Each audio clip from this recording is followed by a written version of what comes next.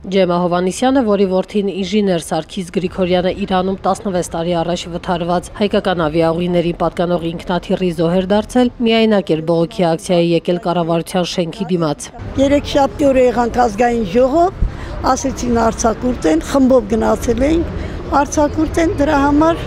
որ արցակուրտեն որոշեցին այս ամիսը չգալ, մինչև օգոստոսի 30-ին նոր կսկսեն գալ։ Հաշմանդամություն ունեցող 130 օթաչուից այսօր արդեն մնացել է 48-ը, որոնք շարունակում են պահանջել իրենց 10 տարի չվճարված թոշակները։ Հայաստանի իշխանությունների անարդար վերաբերմունքից դժգոհ էր նաև անհատ ձեռնարկատեր Արմենուհի Հարությունյանը։ Նա ֆրանսիական մի ընկերության հետ պայմանագիր էր կնքել տրիկոտաժի ձեռնարկություն հիմնելու համար։ Մինչև շենքը սարքեցի, որ տրիկոտաժի հետ գործը անեմ, կարի գործը,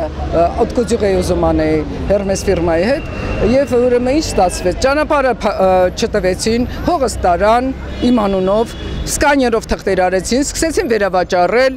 Դիպում եմ մինչև օրս իրավապահներին, դե մենք ունենք այդ համակարգ արդարադատություն, չունենք։ Համատեղ հանցագործներ են։ Արտաշատցի Արսեն Ավետիսյանը եւս միայնակ է իր բողոքի ակցիան անցկացնում։ Նա գալիս է մեծ ցուցապաստառներով, որտեղ նշված են ժամանակակից զենքի տեսակներ, որոնք կկարողանայինք ձեռք բերել ու ավելի ամուր պայել մեր սահմանները, եթե Ռոբերտ Քոչարյանը, Սերժ Սարգսյանը եւ նրա եղբայրը Ալեքսանդր Սարգսյանը իրենց այդ ունեցվածքը ձեռք չբերեին։ Նախորդ բողոքի ակցիան դուր չի եկել իրավապահներին։ Տարանից բաժին մեր մի ժամպայեցին,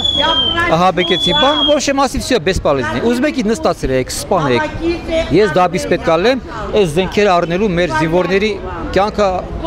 ապահովելու համար։ Վերնիսաժի նախկին վաճառող Հասմիկ Հովանիսյանը միայնակ չէր եկել բողոքի ակցիայի, սակայն նրա գործընկերները հրաժարվեցին խոսել, նրանք եկել էին բացառապես վարչապետի հետ հանդիպման ակնկալիքով։ Վերնիսաժում կանոն ենք շուրջ 15 տարի եւ ավելի։ Հիմա այսօր 1 տարի առաջ մեզ անօրինական ձևով հան հանել են, կարելի ասել ոչ թե հանել են, այլ դուրս են շպրտել։ Տարան մեզ Հրազդան ստադիոն։ Հրազդան ստադիոնում